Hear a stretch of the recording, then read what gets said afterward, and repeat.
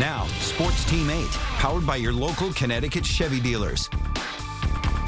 Hello there, and welcome to another big night of sports here on News 8. I'm Eric Dobratz. This Bob, Bob Rumbold here. Yeah. Hey, John Pierce, a little under the weather, but Oof. we have a ton get of stuff. better, John. Yeah, get better. You He's know. home watching right now, John. UConn men's basketball team taking the court for the first time this year. Well, I got my sneakers on, so I'm, I'm thinking Did you basketball. play? That's right. That's right. But no, they, they don't need me at this point. Plus, our high school game of the week. Woo!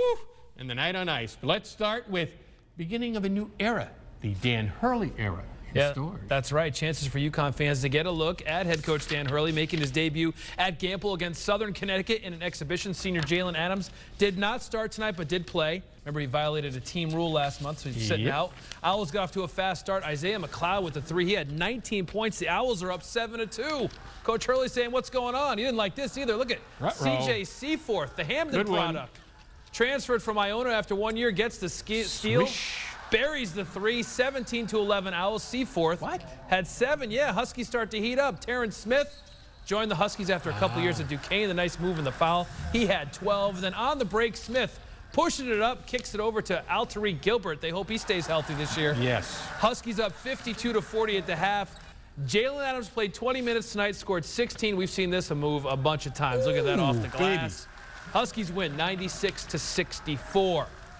Prior to tonight's tip-off, UConn honored Southern coach and former Husky Scott Burrell back for his time in Storrs, joined by his lovely wife, two kids, and the rest of the family. It was quite an honor. Nice video tribute for Burrell. They put his jersey. Yeah, look at that. They put his jersey number 24 on the wall of Gampel Pavilion tonight. Look at that.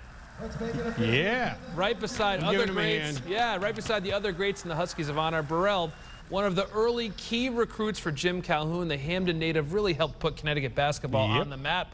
Calhoun there to talk about Burrell. One of the great athletes in Connecticut history. First round baseball and basketball, only guy in history. And most importantly, he came and helped us get into a new direction, national scene. And uh, besides that, I love him. He's one of my favorite kids. Nine years in the NBA, championship with Michael Jordan. He's a very special guy, and he's a little bit overdue, but the fact he's here is the most important thing. That's right, Coach. A little bit overdue, but a great night for a great guy.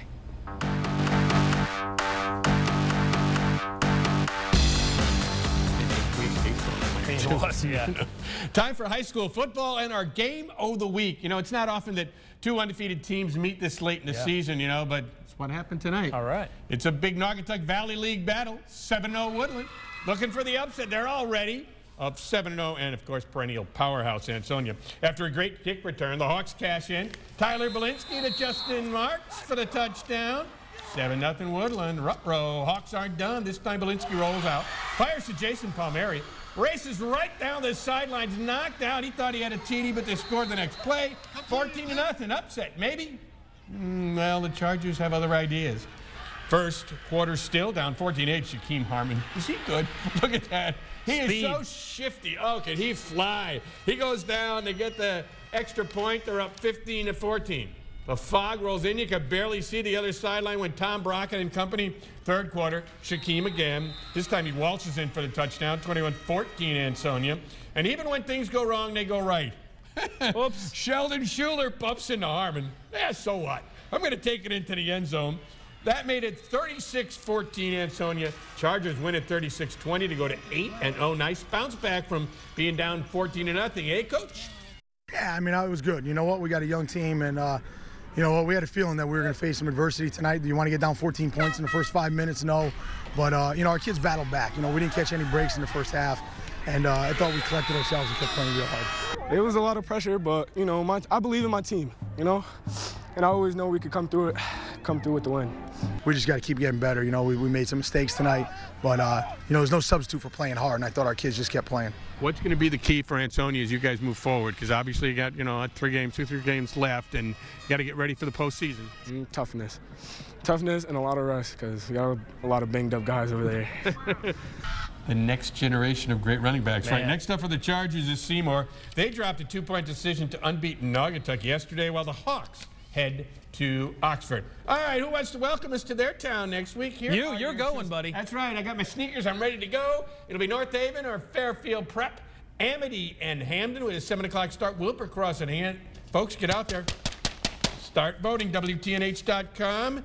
Polls close Wednesday night at 6 o'clock. Eric. All right, a good game in the ECC this afternoon. The cheerleaders a little trouble with the banner there, but that's all right. The fellas go running through. The Lancers hosting Norwich Free Academy. First quarter, NFA takes lead. Quarterback Elijah Parker fakes the handoff, makes a couple of moves, avoids about five tacklers. 7 nothing NFA. Yeah, Waterford answers, though. Check out Marquis Smith here, Bobby. He's going to catch the ball, a little out pattern, breaks one tackle, Oh, nice spin move. turns it back inside. I'm like, where's he going? You know where he's going? The end zone. Touchdown Yeah. Lancers. Yeah, seven to six. Lots of scoring in this one. Cheerleaders were busy. NFA scored the Yep. most though. Kevin Pomeroy from a yard out, 14 to six. NFA. They win at final score, 55 to 21. All right, one block in the books. You want to do another one? Oh, yeah, let's go get him. All right, one more. We'll hit the ice. Quinnipiac, Yale. When we come back, stick around.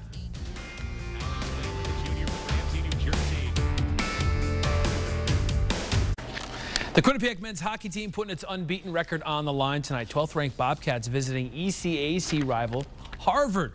Rand Pecknold's team comes into the game 5 0. They've scored 21 goals so far this season. 1 0 Bobcats in the first. Alex Whelan behind the net, setting up his teammate Odeen Tufto with the goal. Yeah. It's 2 0 Cats. Later in the period, Quinnipiac on the power play. Nice passing and then the one timer. Brandon Fortunato lets it fly. It's 3 zip. Harvard gets a couple back to make it 4 to 2. QU gets a little insurance. Ethan de Jong at the right place at the right time at the net. Bobcats win at final score 5 to 3. They play at Dartmouth tomorrow night, Bob. Eric, so much for rebuilding, eh? Hey, really. Keith Allain and his Yale Bulldogs up at Cornell tonight. Down 2 0 in the second period. Big Red looking for more. Morgan Barron finds the net. 3 0 in favor of Cornell. Later in the second, Yale on the power play. Dante Paleco gets the Bulldogs on the board. Cuts it to a 3 1 game. Joe Snively would score on a power play later in the game, but it wasn't enough. Cornell goes on to win a final count of 4 to 2. Eric. All right, on the scoreboard tonight, UConn Huskies win at Vermont. Karl El-Mir with the only goal of the game, 39 saves for Adam Huska. Sacred Heart also a win at Bentley. All right, time for a little football now, Eric. You know, this season, well, may not be a success on the field for Randy Edsall and his UConn football team, but Randy's had plenty of success stories with his former players. Like this guy. Andre Dixon, a former UConn running back and professional football player, has built a successful sports performance business. He's also giving back as a coach. Andre has joined Randell Bennett at Cromwell, at Cromwell, Portland, rather.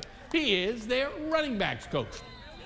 Randall is a really good friend of mine, you know, since I've been in the state of Connecticut. He's a guy that helps me with my clinics and my camps all around Connecticut with the office alignment.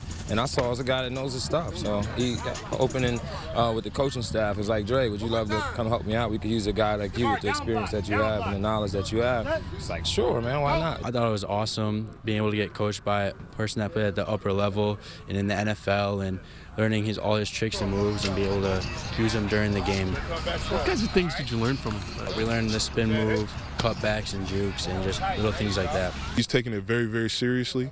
You know, he's very dedicated to our program. He's very dedicated to our players. So, you know, it's been an easy transition for him. It's always giving back to the kids, giving back to athletes. I mean, and then it's the game that saved my life being football, and I get to give back day in and day out doing football. So I love it.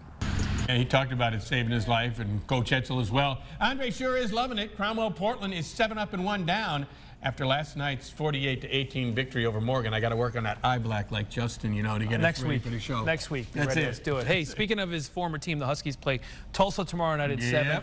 Yale in action tomorrow at 1 o'clock. They play Brown. Also, University of New Haven and Southern in action. We'll have all the highlights tomorrow night. Yeah, we'll, we'll take care of you folks. Join us after the game at uh, 7-ish. 7 o'clock is yeah. All right. Yep. Hey, thanks for watching for Bob Rumbold. Get better, John Yes, Pierson. please, John. See you soon. Have a great night, everybody. everybody.